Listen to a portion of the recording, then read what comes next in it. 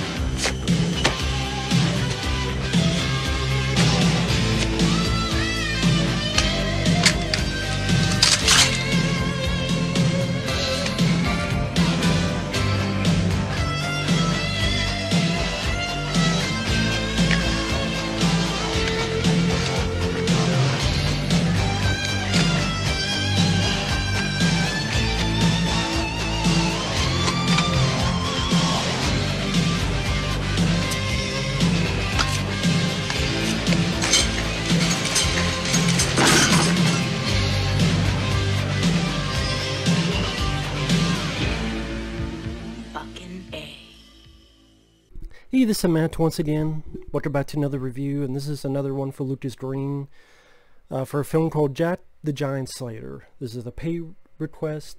Thank you so much for that. Now, Jack the, Jack the Giant Slayer, I really was not interested in watching. Number one is directed by Bryan Singer, which that guy's bit of a suspect, so to speak, on sick, sick things. If you don't know what I'm talking about, just look up online. I'm like, great, this guy might be a pedophile. Now I'm going to review one of his movies. Think Bryan Singer's an overrated director. The usual suspects, I think that worked because of the script and the actors, not so much the direction. X-Men 1 and 2 I like, but they're not in my top 50 favorite superhero movies. Uh, I mean, maybe X-Men 2 in the bottom 50, but still. I like X-Men 2. The first one is okay. But his later X-Men films, I couldn't give a rat's ass about. This film, kind of a toss-up. Superman Returns, eh, I like, but it does have its issues, to be fair. But I like it. This one, after some really, really, really bad CGI, where this kid is read this story about giants, and this is effects that don't seem fucking finished. I mean, I've seen I've seen animation on YouTube look better than this shit. I don't know what they were going for with this beginning CGI horrible effects. That again, they don't seem fucking finished. So then the guy grows up and it's Nicholas Hoult, the guy who played Hank McCoy and X-Men First Class of Bullshit. He's bringing a horse to market. He's supposed to sell some stuff. This monk stole something. Says, hey, can I have your horse? I'll buy it. Uh, I only have these beans. I don't want to take those. Hey, these beans have the power to change the world as we know it. No matter what you do, don't get them wet. I mean, what the fuck are they? Fucking Mogwai? But no. He he looks down, then the fucking monk, he's a fast motherfucker because he stole the horse right off from under him.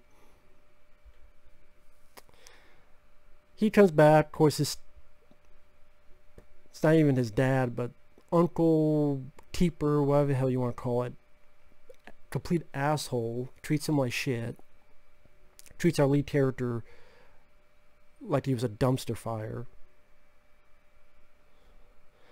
I was waiting for that uncle, where the fuck, I was waiting for him to just come up and with Sally it doesn't. And then one night, this lady who he saw earlier was a princess he helped without knowing she was a princess until too late. She's running away because Ian McShane, who's the teen, wants her to marry, even though she doesn't want to marry. She wants to marry for love, not because she has to. As she's supposed to marry, marry Stanley Tucci's character. Stanley Tucci is our human bad guy. One thing leads to another.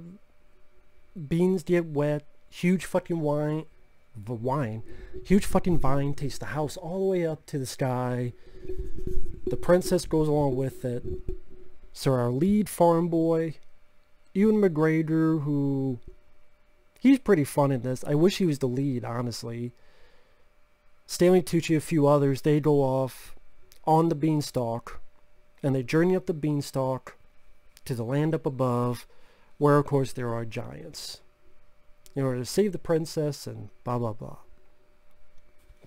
Now, I don't know if I could say I hated the film because sometimes there was a decent sense of adventure. Ewan McGregor was fun in his role. Like I said, I wish he was the lead because he brought some fun personality to the proceedings. I like Stanley Tucci. He worked fine as the villain. One note villain, but villain nonetheless. The lead guy... I was... wasn't big on the lead guy. Whether it could have got a different actor or just the way the character was written. Really, just really not much to him, especially for a movie called Jack the Giant Slayer. I'm like, this is the Giant Slayer? Yeah, not really. And there's just such an overabundance of CGI that you're you begged for a little bit of practicality. You begged for it. It's like, man, I wish there was a little bit of practicality going on here. That would be nice. It'd be really nice. But everything just looks like a fucking video game. CGI to the shitstorm of CGI.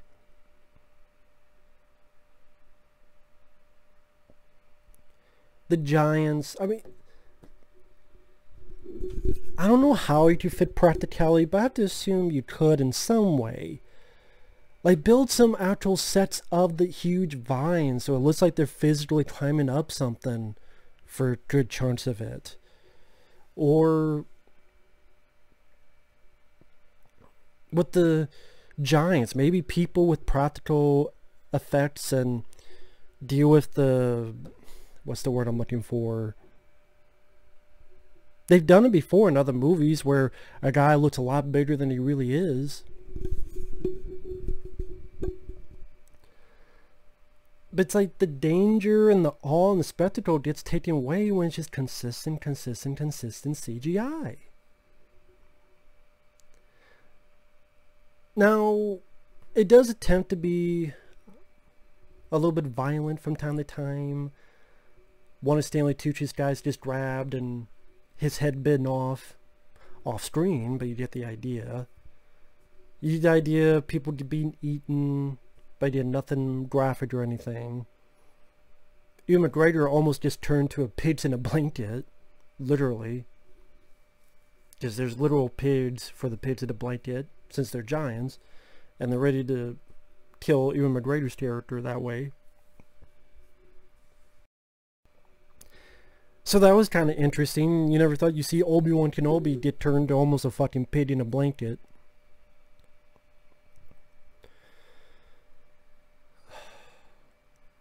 But I mean, even when you get to the finale, when things happen, they get down, the giants come down because something about a crown. If you have the crown, you can control the giants and they're attacking the castle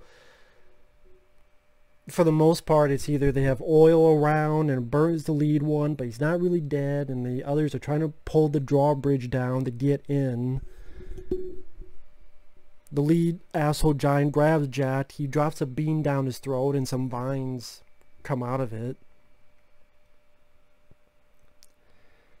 I mean, at times you get a little bit of that adventure quality of a farm boy saving the princess and you don't get that stuff nowadays because be considered too anti-women because why are women just princesses? Bullshit. Uh, the look the design of the the giants maybe think of the trolls and the troll hunter. I, I know, all that CGI it just doesn't leave much impact. Doesn't leave much memorable qualities into my brain with the look of the Giants. It just, Another CG clusterfuck. So the lead guy had his moments of being okay, but at the same time, I would prefer plug Ewan McGregor's character into that lead. I think it would have been much better. I really do. and then have Liam Neeson play the Ewan McGregor role. Or have Liam Neeson play the lead and Ewan McGregor play the same role. Doesn't why does it have to be a young farm boy? Because that's Jack. Well, from what I understand, this doesn't follow Jack the Giant Slayer verbatim anyway, story-wise. For what I understand, there was no Beanstalk in Jack the Giant Slayer, so they were combining multiple stories into one. Is that okay? Fine. If you're willing to do that, then Jack can be anybody. Doesn't have to be a young farm boy. So again, I wouldn't say the plot really did anything that unique or original. The CGI just all a bunch of cluster. The lead, sometimes he seemed a bit bland. Ian McShane, nice to see him, and Stanley Tucci, nice to see him.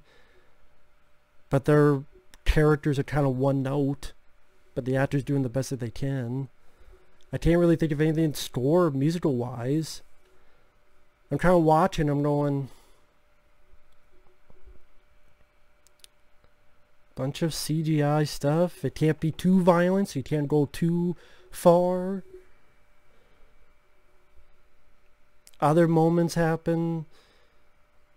For a giant slayer, he kills like three giants. That's about it.